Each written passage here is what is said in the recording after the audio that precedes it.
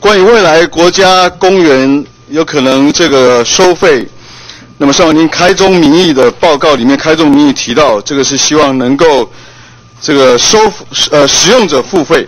是。那么您记不记得我在去年曾经跟您咨询过？是。针对这个题目，就是说，呃，关于我们对于国家公园的呃油气的承载量。跟环境负荷的评估是，那么我能不能跟您请教？从我上次跟您咨询完之后，你也觉得我所质疑的有道理，也就是说，我们对于国家公园的承载量或者是环境的影响，其实都没有适当的评估。那么我能不能跟您请教？从我咨询之后，你们有没有做了其他的新的评估？啊，有。能不能说明细节？我是不是请叶叔长来来跟你说明，好不好？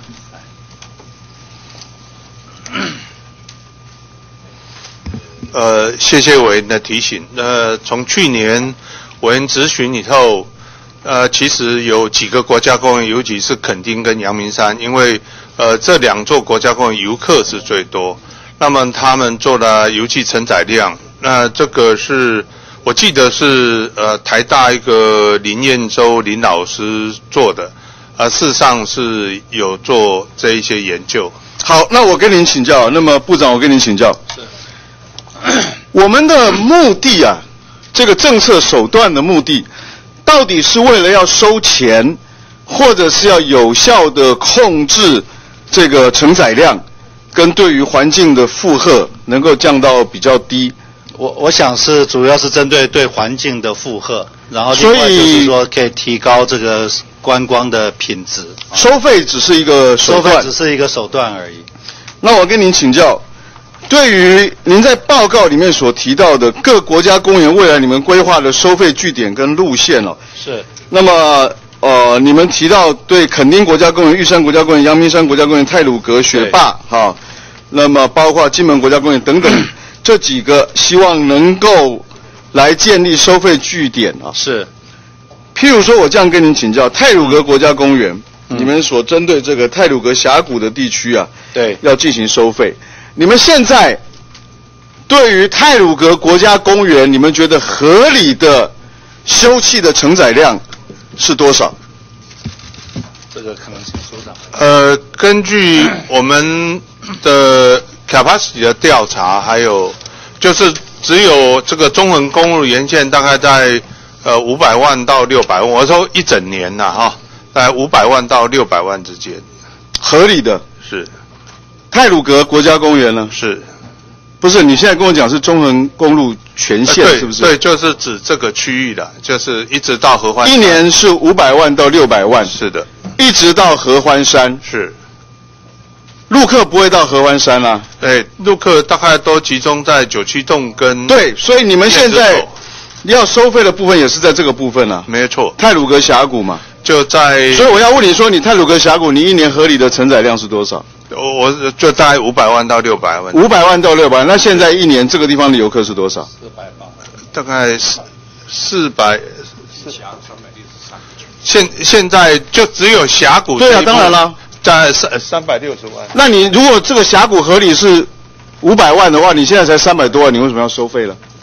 你有没有搞错？你刚才讲的数字啊？那个呃，跟我们报告哈，因为因为他那个这个，比如说如果三百六十万的话，它这个数量是非常集中的，它有两个时点，一个是早上的十点到十二点，一个是下午两点。所以你们应该要做的承载量的的这个评估，不是。全天不是全年，而是这个地区，它在同一个时间，它容许多少人在那边嘛，对不对？那这个部分有没有做？呃，这一部分确实是，如果分时段了哈，分时段。因为你的讲法是这个地方，因为它的它的客量集中嘛，对，集中在某些时段嘛，是。所以你某些时段到底多少是合理的？你们不知道。就就是说，如果以泰鲁格为例，当然了，我现在以泰鲁格为例啊，它就是这个就太集中了。或者我问你嘛，那多少是合理嘛？你不要跟我在那边讲太，我也知道太集中啊。那你们定政策都用想象的，都用猜测的，都用感觉，说这个好像太集中。好，那我问你，第一个，你不知道在瞬间多少人涌入，它的承载量的极限是合理的，是它不会影响到它的环境，冲击不至于太大。这个第一个你们不知道。第二个，你们现在要收费，你要达到什么样的政策目的？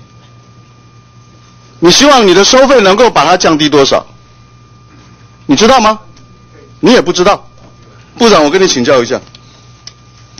好，你们现在抓瞎，什么都不知道啊？你们现在没有任何的，我我先重申啊，我认为收费的手段如果可以有效的控制承载量，如果可以降低对环境的冲击。那我绝对觉得这是合理的。如果我们共同都同意这个收费的目的，是希望能够控制这个油气的承载量，那你们现在搞了半天，坦白讲，搞的时间也不是很长了。但是问题是，你们现在马上要做了，什么都不知道，你的政策手段希望达到什么目的，你不知道。你现在的这个政策，它怎么样能够有效的控制它的、它的、它？你怎么去评估？你也不知道。那你这个政策未免太荒谬了吧？呃，我想控制承载量是一个目的了，但是另外一个就是说，就像刚刚讲的泰鲁阁，其实在大量的极短的时间游客涌入，其实需要很多的人来做维护的工作。不是，你没有回答我的问题。是。我一再强调，你们做任何的政策，它总有个目的嘛，你总要能够有效的被评估嘛，你不能说，好了，现在人太多了，好，我们现在抠开始收之后，好像现在人变少了，人太多，多少叫太多？人变少了，少到什么程度，是我们的目的，你们都不知道嘛？所以我现在定这个价格，是不是？太低，我一段时间之后，我可能考虑要调高，因为我觉得没有达到我的目的。不，你总要有一个可以做政策评估的标准嘛？是，我想跟委员报告哈，以目前定的这个费用，其实人数并不会降下来，因为其实你说大陆的陆客啊，外国观光客，那就是那我就那我就搞不懂了。你一开始告诉我们说希望以价质量。那现在告诉我们说，哎，不会降下来，那你收钱干什么？以以价质量，以目前这种收费是不太可能以价质量的。所以你现在这个政策手段根本你自己是说我达不到那个目的，那你推这个政策要干嘛？推这个政策是希望我们有更多的经费，雇更多的人，把我们个。所以你一开始我问你说，你是不是希望能够有效的控制油气的这个油气的总量？那是目的之一，并不是主要目的。所以你看。我一开始跟你问，你说是，所以现在又变了，啊？现在又变了，所以你现在从头到尾的目的，你现在又给我改成说，你现在是为了要收钱？不，从头到尾的目的是希望我们我们有更多的人。所以你其实是非常荒谬的一件事情。也就是说，如果我们共同承认 这样的一个大量对环境造成这个环境它。不，这个难以承受的负荷，除非你觉得我们现在泰鲁格这样的瞬间爆量啊，对环境没有影响，呃，否则你应该要做的是应该去有效的控制。你即如果收钱没办法控制，我就必须要接受预约。我预约我控制总量，对不起，今天的量就是这样，超过这个量我就不接受了。现在有没有哪一个风景区是这样做的？呃，跟跟委员报告，其实刚才我现在有没有哪一个风景区去设定上限的？我我我跟你知不知道嘛？有没有嘛？呃，湖我我记得湖山植物园是它有 capacity，每一天它有一个。现在阿里山的国家森林游乐区从三月一号开始设定上限了，那不是你们国家公园管的范围了，那是林那是林务局的了。跟委员报告一下哈，就是刚才委员提的收费，刚才部长你说手段之一了。部长部长，我我我要我要搞清楚你们目的到底是什么。我说过，我赞成要收费，可是那个目的绝对不是为了收钱，而是要在，我希望透过收费的手段可以控制总量。如果收费的手段不足以控制总量，我就必须要直接管制。